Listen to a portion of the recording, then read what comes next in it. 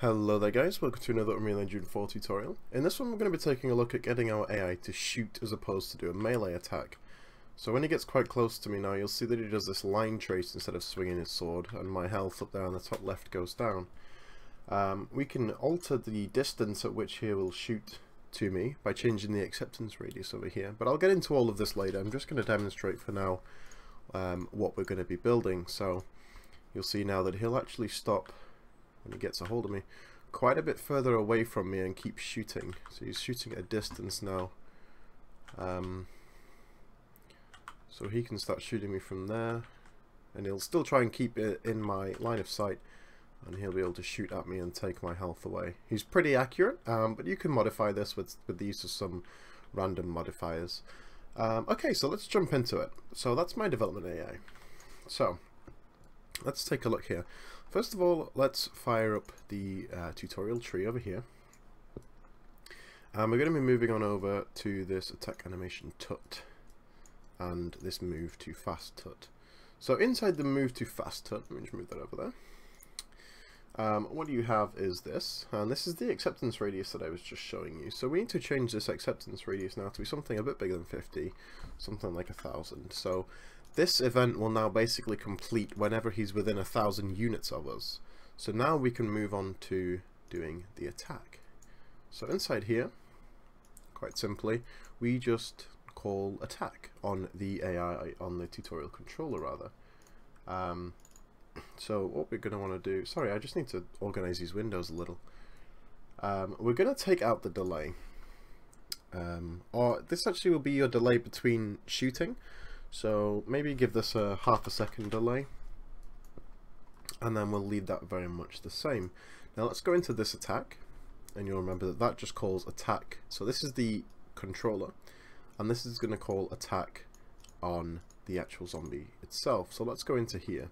Now this is where we had our sword swing. I'm just going to move these out the way.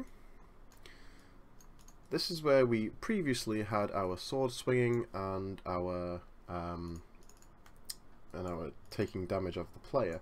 But now we're going to need to go ahead and change that. So let's get rid of the animation, or let's actually change it to a shooting animation. Uh, yeah, I'm not sure how well this is going to work, but let's put it in there anyway. So we're going to do is shooting, and then what we're going to do is move this out the way, break this link, and we need something cool to go in here. So we're going to add a line trace by channel. Remove that wire off my keyboard. Line trace by channel. Awesome. Now there is a tutorial on how to do this and it's done in pretty much the exact same way as in that tutorial but I'll go through it again here. So we get the actor location. Off that we're going to break this vector. We are going to need to make a vector. So we'll drag off X over here and make vector.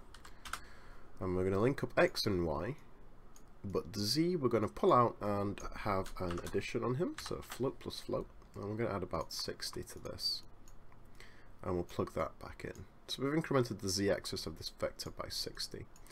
And we're going to plug that into our start, so that's where the line trace is going to come from. Now we need to get the control rotation, and we need to get the rotation X vector off that. And from there we're going to multiply that by a value, oops, not by a float. I want to multiply it by a, yes, a float with a value of 2,500. And we're going to add these two together. So vector add a vector. And then we'll plug that into the end. And for the sake of debugging, we're going to turn this on to for duration. So we can connect our execution pin up here.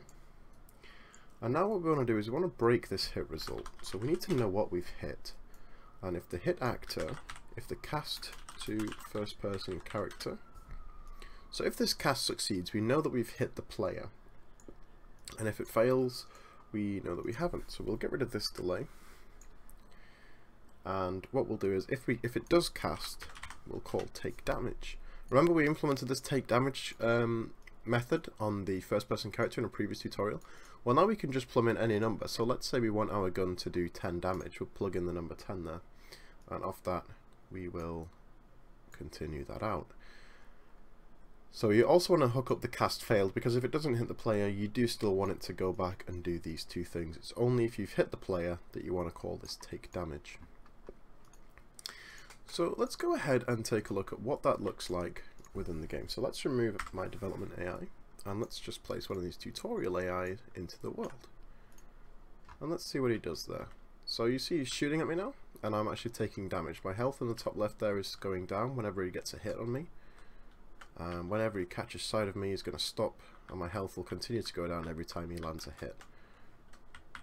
So he should be facing turning to faces though, which is quite perplexing. I don't remember, did the development AI do that, or did the development AI stay still as well? They both seem to stay still. So we need to fix the issue of them not rotating to faces. So we'll remove that development AI from the world. And what we're going to need to do is head on back into where we were doing the um, line trace by channel. So this is our zombie. So what we probably want to do is set the actor rotation. So what we can do is we can bump this in up here. So to organize this a bit more, let's move all of this out the way a bit.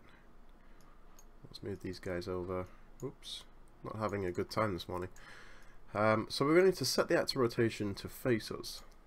This is experimental. I wasn't planning on on doing this, but we'll uh, we'll give it a go. And his new rotation will be the rotation of the controller. So let's give that a look and not close the game. Let's see. Does he stop and face me now? He does. So his actor rotation now matches the rotation of the controller, so he'll now face me when he's shooting me. You that he's not playing any shooting animation, but I wasn't expecting to get that working. Um, it's quite strange really, but we could always just take that out and see what happens.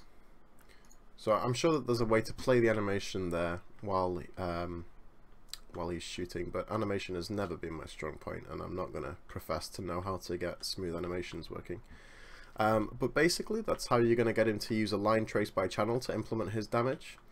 And like I said earlier, on the um, on the move to, you can change this acceptance radius here, and that will allow you to determine how close he has to be before he can uh, shoot at you.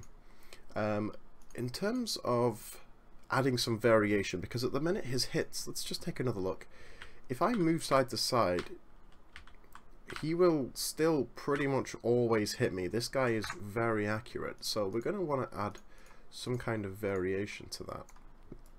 So in here, where we're going to the end, on this rotation vector, we sort of need to sway him off a bit, if that, if you if you understand what I mean. So I'm going to break this rotation, and I'm going to make a rotator as well. And what I'm going to do on the uh, let me think. Roll is like rotating left to right. Pitch is up and down, and yaw is rotating on. okay, so it's the yaw. The yaw is what I want to use. So on the yaw, I'm going to add um, a random float. So random float in range.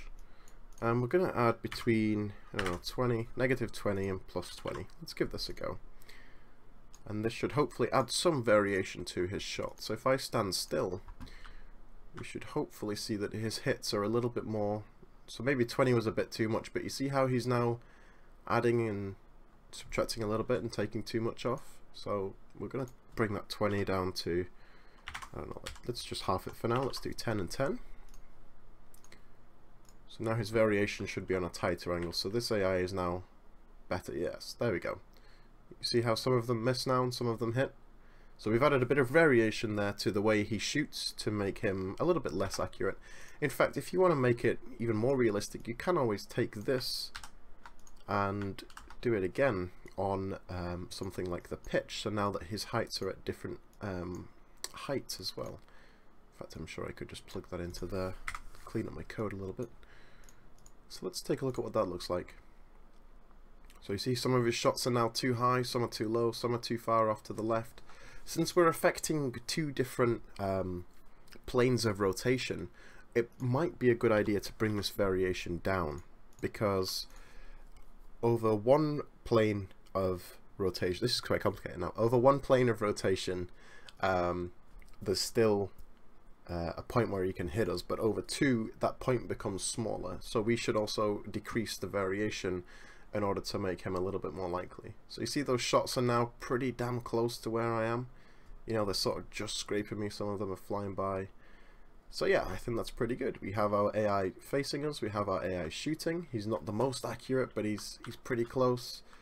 And there you have it. That's how you would get your AI to shoot using a line trace by channel. So guys, if you like the video, give it a thumbs up, leave me a comment down below, let me know what you want to see next. Uh, hop on the Discord server if you haven't already. There's plenty of people talking on there. It's a really great place to get help for your, uh, your own little projects, to discuss new video ideas and what you want to see from the channel, and to just get to know the, your fellow game developers a bit more. If you haven't subscribed already, please make sure you do that. Give the video a thumbs up. And as always, guys, I will see you on the next video.